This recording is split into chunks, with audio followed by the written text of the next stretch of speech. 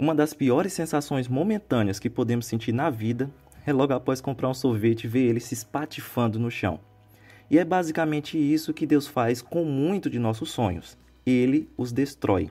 Essa é a ideia defendida por Rodrigo Bibo em seu livro O Deus que Destrói Sonhos. Um livro que nos questiona sobre a que Deus nós estamos servindo e se somos capazes de continuar servindo mesmo que ele não nos dê o que desejamos.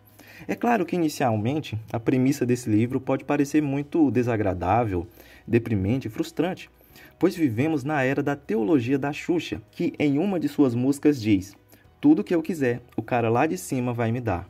Uma época em que somos bombardeados com pregações, músicas, influenciadores e frases cristãs que nos colocam no centro e Deus é posto como nosso servo, coach, gênio da lâmpada.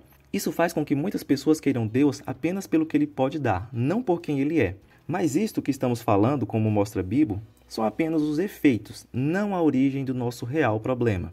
Se quisermos entender onde se originou nosso problema, precisamos voltar ao jardim do Éden e lembrar que a queda fez com que a humanidade, que foi inicialmente criada para viver em comunhão com Deus e harmonia com o próximo, passasse a utilizar sua vontade apenas para satisfazer seus anseios, gerando orgulho, ambição e o desejo pela glória de homens, de modo que os nossos sonhos agora só contemplam as nossas necessidades e caprichos. Em resumo, a humanidade se tornou escrava do pecado.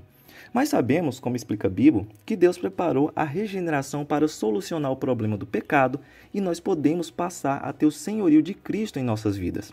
Ao aniquilar o poder da morte, Cristo possibilitou a vida eterna aos que renascerem nele. A esperança viva habita no discípulo regenerado. Ele sabe que todos os sofrimentos e perseguições que atualmente o assolam não terão a palavra final em sua vida, pois Jesus trilhou o mesmo caminho, sofreu até a morte, mas ressuscitou, garantindo assim o mesmo destino para os seus. A regeneração já é a vida do porvir, invadindo o crente aqui e agora. Podemos assim deixar a escravidão do pecado para sermos servos escravos de Deus. E eu sei que isso pode soar estranho, o fato dos seguidores de Jesus serem chamados de escravos, mas é assim que nós somos tratados no Novo Testamento, sendo exatamente isso que Paulo fala em Romanos capítulo 6. Essa história da redenção é simples, todos conhecem, mas de que maneira isso se relaciona com Deus destruindo os nossos sonhos? Quando observamos as opções de escravidão que temos, percebemos que temos dois senhores a quem podemos escolher. Ou seremos escravos do pecado, o que nos leva à morte eterna, ou podemos ser escravos de Deus, que nos dá vida eterna.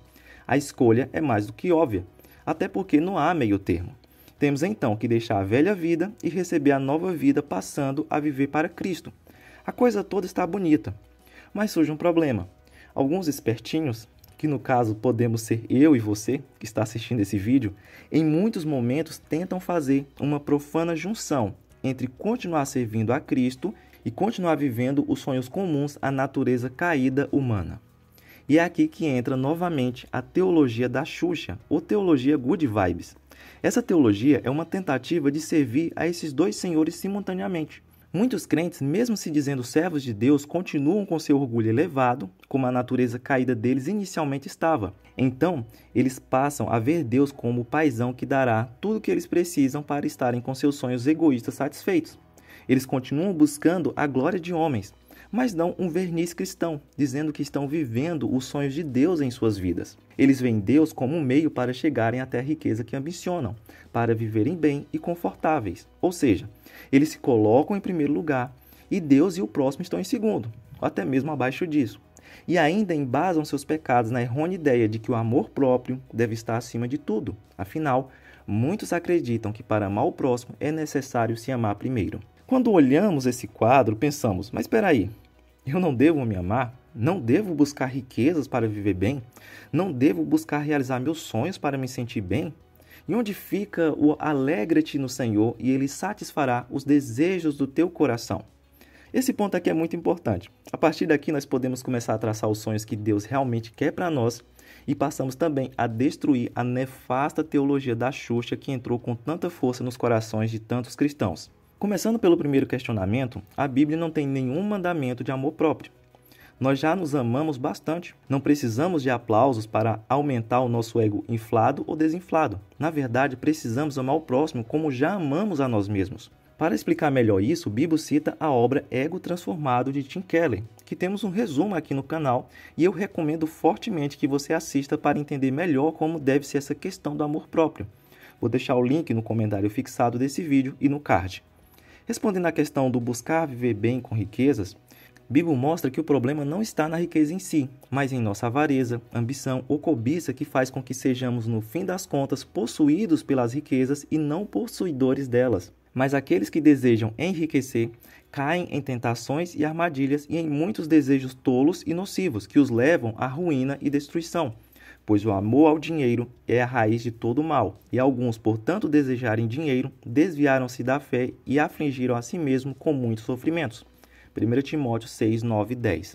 As riquezas são dádivas que devem ser repartidas com aqueles que precisam. Isso fica ainda mais evidente na oração do Pai Nosso, em que pedimos o pão nosso de cada dia, não só para nós como indivíduos, mas como comunidade. Pedimos o perdão de nossas dívidas como comunidade também, e pedimos a proteção da tentação também para todos, e principalmente que seja feita a vontade de Deus e não a nossa. Mas e Salmo 37:4? O salmista nos orienta a nos deleitarmos no Senhor e assim ele satisfará os desejos do nosso coração. Nesse versículo, Deleitar-se nele remete à aliança que Deus fez com seu povo. Isso significa não se deleitar em nenhum outro Deus que não seja o Deus que libertou o povo de Israel da escravidão. Um membro da aliança se alegra em Deus e em seus mandamentos. Os desejos do seu coração são desejos que espelham esse compromisso que todo Israel assumiu com Deus no Sinai. Pois bem, então o que um coração alegre no Senhor busca? A tese de John Piper, em sua Teologia da Alegria, é a de que quanto mais nos satisfazemos em Deus e em sua justiça, menos os prazeres desse mundo serão atrativos para nós. Dessa forma, nós vamos se deleitar plenamente em Deus. Devemos então nos perguntar: então quais são esses desejos que nós devemos ter em nosso coração? O discípulo verdadeiro assume um compromisso com Deus que implica em negar sua vontade para viver a vontade dele. Aqui surge um questionamento. Se devemos fazer a vontade de Deus, então como descobrir essa vontade? Como descobrir os sonhos de Deus para nós? É comum muitas vezes nós querermos uma revelação clara se devemos seguir essa ou aquela carreira, fazer isso ou aquilo. E por isso muitos passam a pedir um sinal de Deus antes de tomarem uma decisão. Ainda que na Bíblia tenhamos histórias em que Deus guiou uma pessoa na tomada de uma decisão, temos que tomar cuidado na aplicação desses textos para nós hoje. Essas passagens falam de uma revelação especial da parte de Deus a um indivíduo com o propósito de abençoá-lo e de colocar em andamento a vontade divina para todo um povo.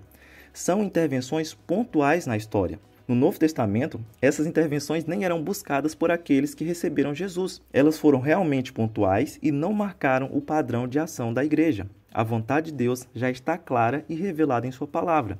Ficar pedindo sinais para Deus é sintoma de imaturidade espiritual e fuga de um compromisso com as Escrituras. Nossas decisões cabem a cada um fazer.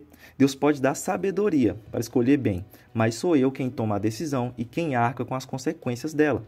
Deus já deixou instruções claras de como deve ser a vida daqueles que se dizem seus servos. Agora, observamos que por trás dessa teologia e de todos os problemas que temos falado até agora, há um desejo de domesticarmos Deus, uma vontade de dominá-lo. E nós podemos nos recordar dos famosos livros de C.S. Lewis, das Crônicas de Nárnia. Lá o leão chamado Asla, que é apresentado como Jesus. Nas histórias de Lewis, as personagens aprendem que Asla não existe para atender seus caprichos e vontades. Ele faz o que quer. Elas entendem ao longo das histórias que o Salvador não pode ser domesticado, pois é selvagem. Contudo, elas sabem que ele é bom. Deus conhece nossa história. E sim, ele tem vontade de abençoar seus filhos, mas ele não cai em nossos jogos de manipulação e não permite que seu nome seja usado para o nosso próprio benefício, para nos tirar do anonimato, por exemplo. Começa a ficar claro então que para um discípulo de Jesus não tem essa de viva seus sonhos, pense grande e coisas do gênero.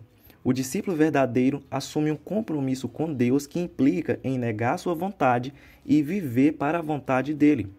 Não é fácil. Ele vai gastar a vida toda tentando. Afinal, o evangelho o constrange a isso. A reflexão central desse livro é apontar para a necessidade de reconhecer o senhorio de Cristo em nossa vida e entender que somos escravos submetidos a uma missão que afeta tudo o que somos e fazemos. Essa foi apenas uma palhinha superficial do livro O Deus que Destrói Sonhos. Nele há muito mais sobre esses e outros temas dentro da teologia da Xuxa. Se você não leu, não perde tempo e vai ler. E se você já leu o livro e quer fazer mais algum acréscimo, fica à vontade para comentar aí embaixo. Não esquece de fazer sua inscrição no canal, deixar o like e até a próxima.